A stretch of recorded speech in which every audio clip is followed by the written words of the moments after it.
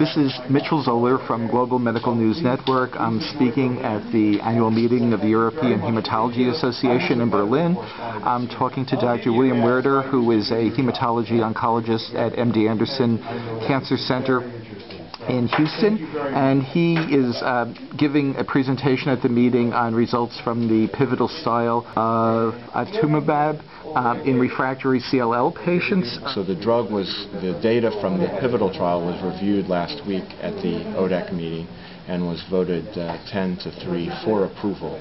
Also, the uh, study, uh, this particular study looked at uh, ofatumumab in a very uh, selected population, patients who were fludarabine resistant, and um, you were telling me that there are studies underway that's looking um, compared with chlorambucil as a first-line agent, so the uh, the direction now is potentially to use this antibody earlier in the course of treating these patients? Absolutely. So there are a number of opportunities to develop antibodies and drugs in CLL. In terms of strategies for drug approval, the major route that uh, pharmaceutical companies have taken with the disease is to identify a population that has an unmet need they demonstrate activity in that unmet need.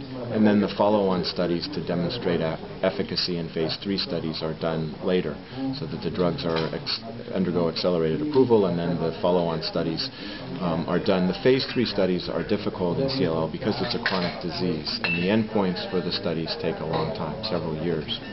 So the strategy with this drug was to de demonstrate activity in a pa patient population that had an unmet need with plans for subsequent phase three confirmatory trials.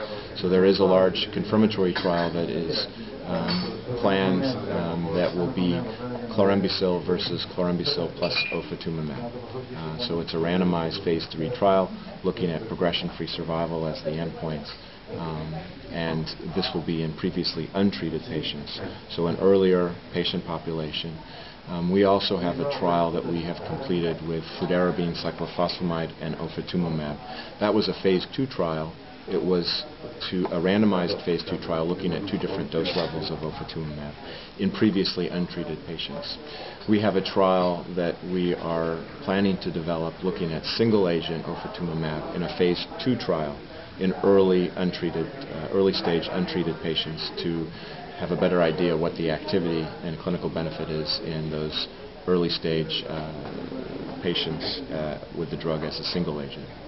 And the chlorambucil trial, that you expect the results next year? Oh no, it'll be a number of years. Uh -huh, several, several years, three three years probably before there's results from mm -hmm. that study. Okay.